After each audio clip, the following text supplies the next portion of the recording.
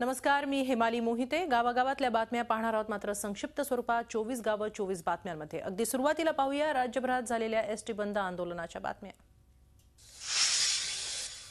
नागपूरमध्ये एसटी संपाचा प्रभाव दिसून आला. नागपूर आगारात दोनशेच्या वर एसटी बसेस थांबवण्यात आल्या. बस बंद असल्यानं नागपूरकरांचे मोठे हाल झाले. संपामुळे खासगी बस चालकांचं मात्र फावलं.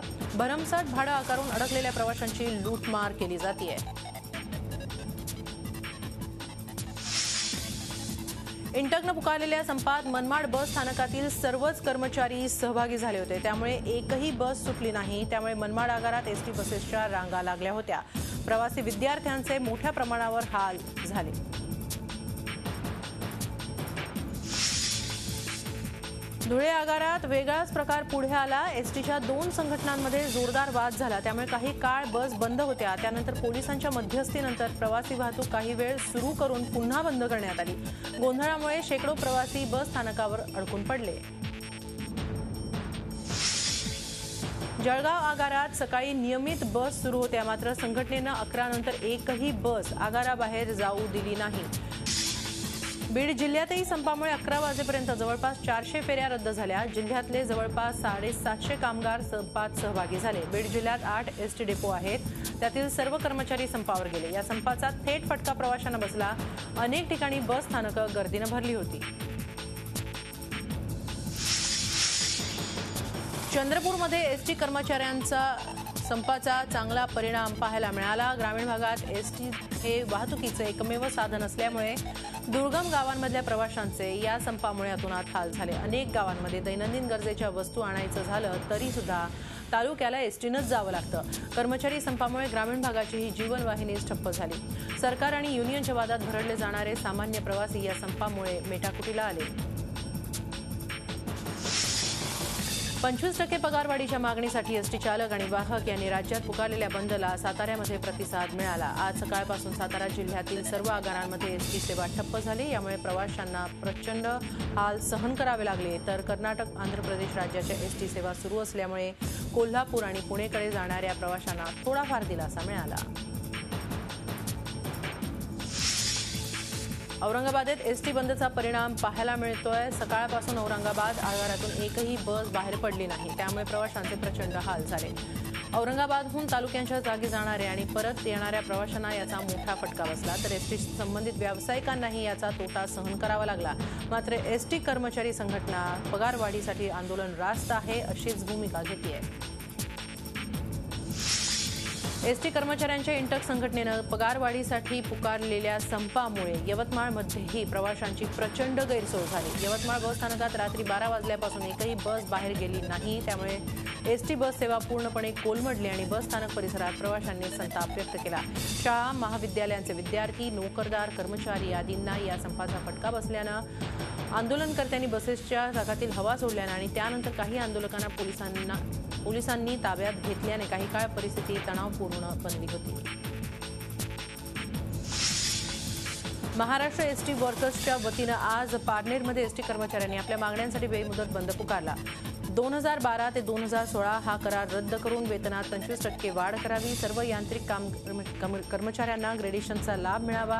महिला कर्मचाऱ्यांना कायद्यानुसार मिळणाऱ्या विविध सोयी सवलती त्वरित देण्यात याव्यात. तसंच नवी भरतीपूर्वी अनुकंपाच्या जागा त्वरित भराव्यात अशा मागण्यांसाठी पारनेर डेपोतल्या कर्मचाऱ्यांनीही बेमुदत संपाचं हत्यार उपसलं. कल्याणमध्ये एसटी कर्मचाऱ्यांचा संप मात्र मागे घेण्यात आला. वरिष्ठ पातळीवर बोलणी चालू असल्यानं इथल्या कर्मचाऱ्यांनी आंदोलन मागे घेतलं. प्रवाशांना त्रास नको म्हणून कर्मचारी कामावर परतले. कल्याणमध्ये त्यामुळे वाहतूक पूर्वपदावर आली. लांब पल्ल्याच्या गाड्या रवाना करण्यात आल्या मात्र यामुळे संपात फूट पडल्याचं चित्र पाहायला मिळालं. या इतर बातम्यांकडे राज्याचे महाधिवक्ता श्री अणींच्या विदर्भाबाबतच्या वादग्रस्त वक्तव्यावरून शिवसेनेचा आक्रमक पवित्रा कायम आहे. अणींच्या माफीच्या मागणीवर शिवसेनेचे आमदार ठाम आहेत. मुख्यमंत्र्यांना विधानसभा अध्यक्षांनी अणेंबाबत निवेदन दिलेलं अणेंबाबत विधानसभेत निवेदन करण्याचे आदेश दिलेले असताना विधान परिषदेत निवेदन का केलं असा सवाल आमदारांनी विधानसभेत उपस्थित केला. मुख्यमंत्र्यांनी संसदीय परंपरेचा भंग केल्याचा आरोप संतप्त शिवसेना आमदारांनी केला. यावेळी शिवसेनेच्या जोरदार घोषणाबाजीमुळे सभागृहाचं कामकाज काही वेळासाठी तहकूब करण्यात आलं. विधान परिषदेतही शिवसेनेपाठोपाठ काँग्रेसनंही अणेंच्या वक्तव्यावर हरकत घेतली. राज्यातल्या शेतकऱ्यांना कर्जमाफी मिळावी यासाठी आज नागपूरमध्ये राष्ट्रवादीच्या आमदारांनी निदर्शनं केली. विधिमंडळाच्या पायऱ्यांवर बसून त्यांनी सरकारविरोधी घोषणाबाजी केली. सरकारनं कर्जमाफी केल्याशिवाय शेतकऱ्यांना दिलासा मिळणार नाही असा दावा राष्ट्रवादीचे प्रदेशाध्यक्ष सुनील तटकरेंनी यावेळी केला. विधिमंडळाच्या हिवाळी अधिवेशनाच्या निमित्तानं नागपूरला एकत्र झालेले भाजपा आमदार आज सकाळी संघ मुख्यालयात दाखल झाले. नागपुरातल्या संघाच्या रेशीमबाग कार्यालयात भाजपा आमदार सकाळी आठ वाजताच पोहोचले. संघाचे सरकार्यवाह भैयाजी जोशी यांनी यावेळी आमदारांना मार्गदर्शन केलं. नागपुरातील रेशीमबाग येथील राष्ट्रीय स्वयंसेवक संघाचे संघ शिक्षा वर्गाचे तृतीय वर्षाचं शिबिर नागपूरमध्ये सुरू आहे. आज त्याचा समारोप होता. सकाळच्या न्याहारीच्या वेळी एकत्र झालेल्या संघ स्वयंसेवकांनी संघ गीतांवर ठेका धरला. ताट आणि वाटी वाजवत संघ स्वयंसेवकांनी आनंद व्यक्त केला. नागपूरमध्ये बस आणि ट्रकमध्ये भीषण अपघात झालाय. या अपघातात चोवीस जण जखमी झाले तर तीन जण गंभीर जखमी आहेत. जखमींमध्ये एक कॉलेजचा विद्यार्थी आहे. कटोल कोंढली रोडवर चक्री घाट इथं ही अपघाताची घटना घडली. कोल्हापुरातील कसबा बावड्यात नवविवाहित दाम्पत्याचा चाकूनं भुसकून खून करण्यात आला आहे इंद्रजित कुलकर्णी आणि त्याची पत्नी मेघा यांची हत्या ऑनर किलिंगचा प्रकार असल्याचा संशय व्यक्त होत आहे कसबा बावड्यातले सातवे गावचा इंद्रजित कुलकर्णी आणि थेरगावच्या मेघा पाटील यांनी चोवीस जून दोन हजार चौदाला प्रेमविवाह केला. विवाहानंतर हे दोघेही वर्षभर बाहेर राहत होते. सहा महिन्यांपूर्वी ते कसबा बावड्यात परत आले. बुधवारी रात्री दहाच्या सुमारास दोन अज्ञात तरुणांनी त्यांच्या घरात घुसून त्यांच्यावर चाकूने हल्ला केला. त्याचा आवाज ऐकून घरमालकीण बाहेर आल्या. त्यावेळी अंदाजे वीस ते पंचवीस वयोगटातील दोन तरुण जिन्यावरून खाली पळत असल्याचे त्यांना दिसले. हे पाहून त्यांनी आरडाओरड सुरू करताच हल्लेखोर पसार झाले. या प्रकरणी शाहपुरी पोलीस ठाण्यामध्ये गुन्हा दाखल झाला असून पोलिसांनी रात्री उशिरा मुलीच्या दोन भावांसह आणखी एकाला अटक केली आहे गोदावरी प्रदूषणाच्या मुद्द्यावर उच्च न्यायालयानं पुन्हा एकदा सरकारी यंत्रणांना प्रदूषण मुक्तीसाठी केल्या जाणाऱ्या उपाययोजनांसंदर्भात जाब विचारलाय. या संदर्भात पुढील सुनावणीपर्यंत निरी या संस्थेच्या सूचनांचा विचार करून विभागीय आयुक्तांच्या अध्यक्षतेखाली स्थापित समितीला अहवाल सादर करण्याचे आदेश देण्यात आले.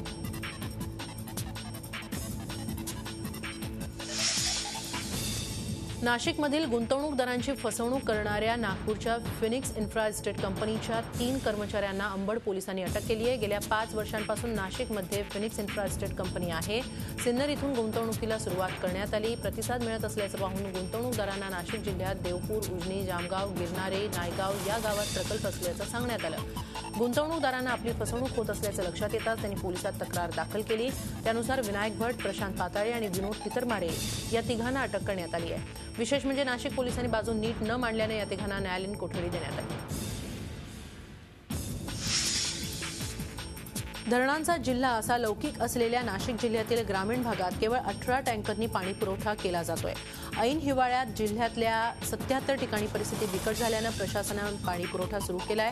धरणात केवळ सदतीस टक्के पाणीसाठा आहे. उन्हाळ्यात महापालिका हद्दीतील गावंही अडचणीत येणार असल्यानं जिल्ह्यामध्ये पाण्याचा भडका उडणार आहे. झी चोवीस तासनं शाळा आणि विद्यार्थ्यांच्या विविध प्रश्नांबाबतीत समस्या मांडल्या होत्या. शिक्षण विभागाच्या अधिकाऱ्यांनी जी आरमध्ये खोडसाळपणा करत शाळेची कोंडी करण्याचं काम सुरू केलं होतं. वारंवार तक्रार करूनही दखल घेतली जात नव्हती. या पार्श्वभूमीवर शिक्षणाला न्याय मिळावा यासाठी शिक्षण कृती समितीनंही आंदोलन करत खासगी शाळा एक दिवस बंद ठेवल्या. शिक्षण मंत्र्यांनी याबाबत दखल घेऊन शिक्षण बचाव कृती समिती ला दोन वादग्रस्त जी आर बाबत समिती नेमण्याचं आश्वासन दिलं त्यामुळे आंदोलन तात्पुरत्या स्वरूपात स्थगित करण्यात आल्याचं शिक्षण कृती समितीनं स्पष्ट केलं बुलढाणा जिल्ह्यात बियाणे कंपनीकडून शेतकऱ्यांची फसवणूक झाल्याचं समोर येत आहे देशी वाणाचा प्रसार आणि प्रचार करण्यासाठी शासनाच्या कृषी समृद्धी प्रकल्पाच्या सुधारित कापूस यंत्रणांतर्गत केंद्रीय कापूस संशोधन केंद्राद्वारे देण्यात आलेले कापूस बियाण्याला कापूसच न आल्यानं बुलढाणा जिल्ह्यातील दहा शेतकरी चांगलेच अडचणीत सापडले याबाबत त्यांनी तालुका कृषी अधिकारी जिल्हा कृषी अधीक्षक यांच्याकडे देखील तक्रारी केल्या. त्यांनी देखील याची पाहणी केली पण अद्याप कुठलीच नुकसान भरपाई मिळालेली नाही. त्यामुळे बुलढाणा जिल्ह्याचे पालकमंत्री तथा कृषी मंत्री खडसे यांनी यात लक्ष घ्यालावं अशी मागणी ते करतायत. इतकंच नाही तर ही समस्या फक्त बुलढाणा जिल्ह्यातच नसून विदर्भातील सहा जिल्ह्यांमध्ये अशीच परिस्थिती असल्याचं शेतकरी सांगतायत.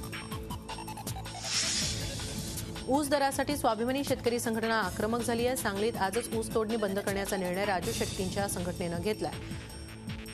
तर उद्या संघटना जिल्ह्यामध्ये चक्का जाम करणारे सरकारनं एफआरपी देण्यासाठी ठरवलेल्या ऐंशी वीसचा फॉर्म्युला ही कारखानदारांना मान्य नाही. त्यामुळे आता स्वाभिमानी शेतकरी संघटना आक्रमक झाल्याचं चित्र आहे.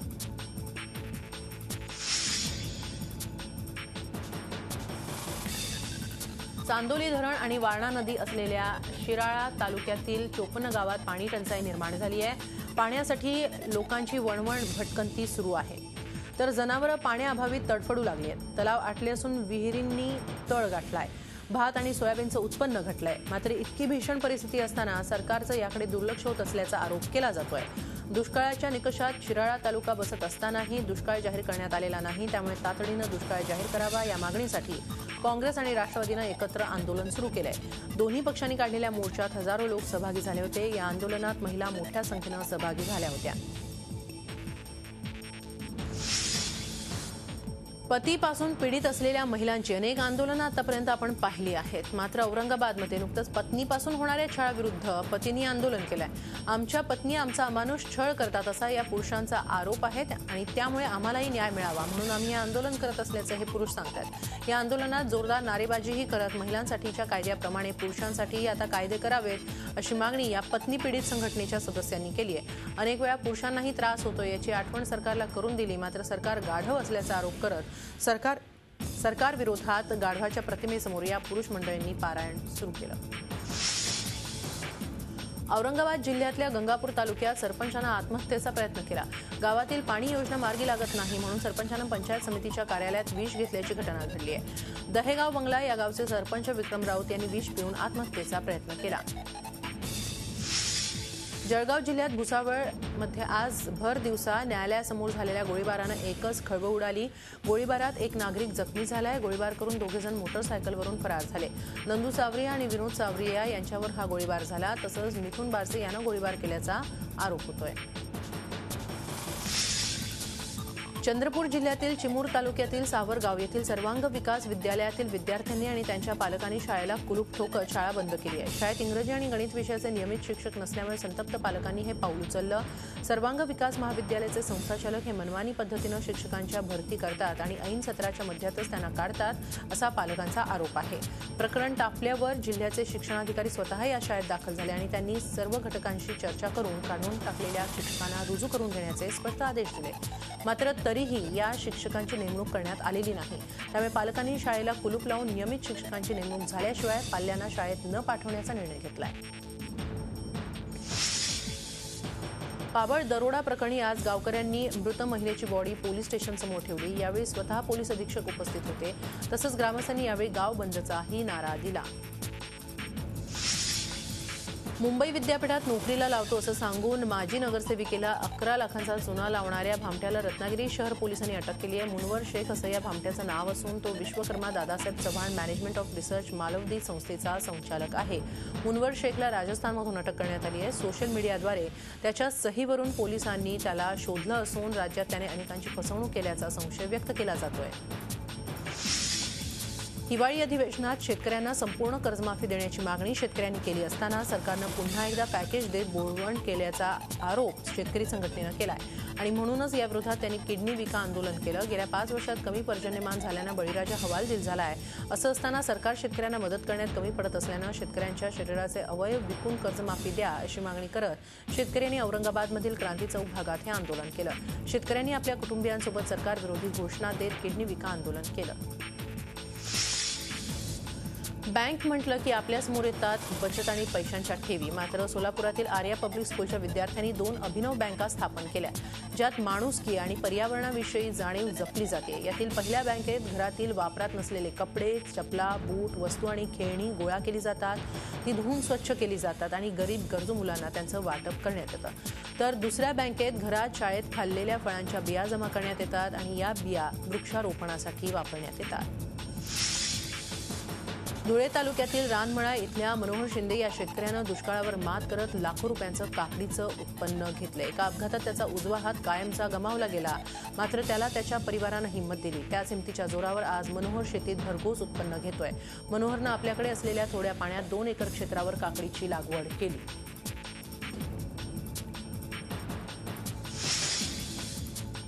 शॉवरमधून होणारी पाण्याची नासाडी थांबवण्यासाठी शाह सहावीत शिकणाऱ्या नाशिकच्या एका चिमुडीनं वॉटर शॉवर तयार केलंय. दुष्काळग्रस्त महाराष्ट्रात पाण्याचा एक एक थेंब महत्त्वाचा असताना आंघोळीच्या वेळी शॉवरमुळे मोठ्या प्रमाणात पाणी वाया जात असल्यानं पाणी बचतीसाठी नवीन उपकरण बनवण्याचे प्रयत्न या चिमुरडीनं केले. या नव्या शॉवरचा उपयोग केल्यास ऐंशी टक्के पाण्याची बचत होऊ शकते असा दावा तिनं केला असून पाणी बचतीचा संदेश दिलाय. धुळे शहरातील जे आर सिटी शाळेत राज्यस्तरीय पस्तीसावी मिनी आणि सब ज्युनियर मल्लखांब स्पर्धेचं मोठ्या थाटात उद्घाटन झालं. राज्यातील तेवीस जिल्ह्यांमधील तीनशेच्या वर विद्यार्थिनी या स्पर्धेत सहभागी झाल्या असून यात राष्ट्रीय आणि राज्यस्तरीय मल्लखांब खेळाडूंचा समावेश आहे. या स्पर्धेचं उद्घाटन क्रीडा ज्योतीच्या सहाय्यानं महापालिका आयुक्त नामदेव भोसले यांच्या हस्ते करण्यात आलं.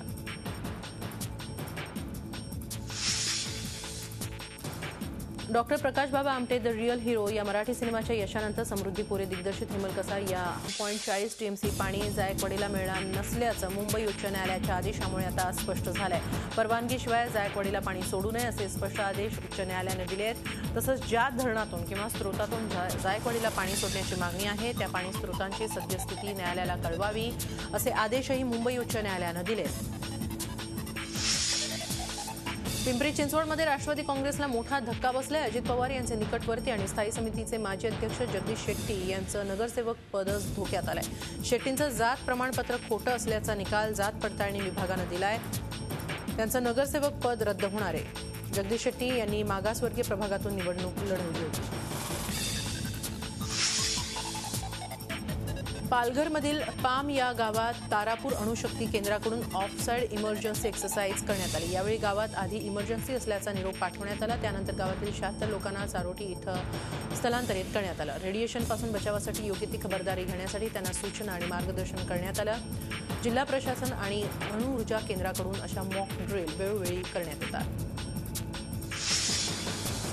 कामोठेमधील डी पी पाटील विद्यालयात विज्ञान प्रदर्शन पार पडले. या प्रदर्शनात पनवेल तालुक्यातील दोनशे शहाऐंशी शाळांनी सहभाग घेतला होता. तर शाळांतील चारशे सत्तेचाळीस विद्यार्थी यात आपापल्या प्रकल्पासह सहभागी झाले होते. महत्वाचं म्हणजे अनेक शाळांमधील शिक्षक देखील या विज्ञान प्रदर्शनात सहभागी झाले होते. पाणी बचत दुष्काळ पर्यावरण रक्षण सौर ऊर्जा आदी महत्त्वाच्या विषयांवर या विज्ञान प्रदर्शनाच्या माध्यमातून प्रकाश टाकण्यात आला होता. मुंबई मेट्रोनं प्रवास करणाऱ्यांसाठी एक चांगली बातमी. जोपर्यंत फेअर फिक्सिंग समिती संदर्भातील याचिकेवर अंतिम निर्णय होत नाही तोपर्यंत म्हणजेच एकोणतीस जानेवारीपर्यंत मेट्रो ट्रेनची नवीन भाडेवाढ करता येणार नाही असे आदेश मुंबई उच्च न्यायालयानं दिले. नुकतंच तिकीट दर निश्चिती समितीनं मेट्रो ट्रेनची किमान पाच रुपये भाडेवाढ करण्याचं ठरवलं होतं. मात्र मुंबई उच्च न्यायालयाच्या निर्णयामुळे मेट्रो ट्रेनच्या तिकिटात मेट्रो वननं वाढवलेले किमान पाच रुपये दरवाढ टळली आहे. हा हिंदी सिनेमा ऑस्करच्या अंतिम तीनशे नऊ चित्रपटांच्या यादीत जाऊन पोहोचलाय. मात्र मराठी सिनेमा कोर्ट ऑस्करच्या स्पर्धेतून बाहेर गेलाय. लॉस एंजलिसमध्ये मागच्या महिन्यात सिनेमाचे ज्युरींसाठी अनेक शो झाले त्यात हिमल कसानं ऑस्करच्या जवळपास तीनशे नऊ सिनेमांच्या यादीत प्रवेश निश्चित केला. पॉईंट चाळीस टीएमसी पाणी जायकवाडीला मिळणार नसल्याचं मुंबई उच्च न्यायालयाच्या आदेशामुळे आता स्पष्ट झालंय. परवानगीशिवाय जायकवाडीला पाणी सोडू नये असे स्पष्ट आदेश उच्च न्यायालयानं दिले आहेत. तसंच ज्या धरणातून किंवा स्रोतातून जायकवाडीला पाणी सोडण्याची मागणी आहे त्या पाणी स्रोतांची सद्यस्थिती न्यायालयाला कळवावी असे आदेशही मुंबई उच्च न्यायालयानं दिले आहेत पिंपरी चिंचवडमध्ये राष्ट्रवादी काँग्रेसला मोठा धक्का बसलाय. अजित पवार यांचे निकटवर्ती आणि स्थायी समितीचे माजी अध्यक्ष जगदीश शेट्टी यांचं नगरसेवक पदच धोक्यात आलंय. शेट्टींचं जात प्रमाणपत्र खोटं असल्याचा निकाल जात पडताळणी विभागानं दिलाय. त्यांचं नगरसेवक पद रद्द होणार आहे. जगदीश शेट्टी यांनी मागासवर्गीय प्रभागातून निवडणूक लढवली होती.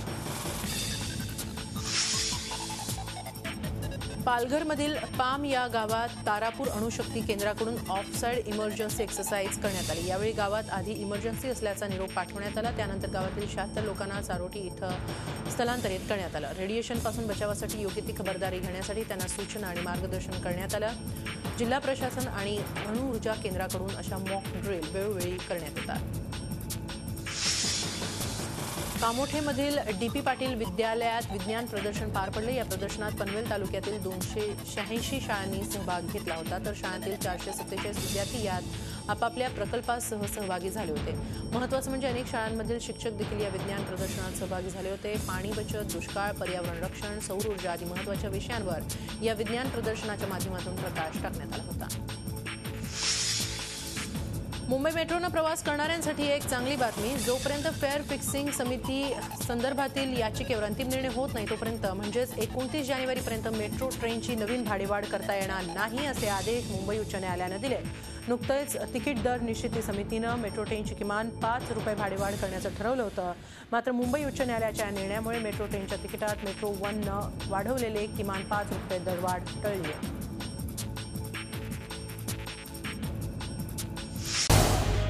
झी चोवीस तास. रहा एक पाऊल पुढे.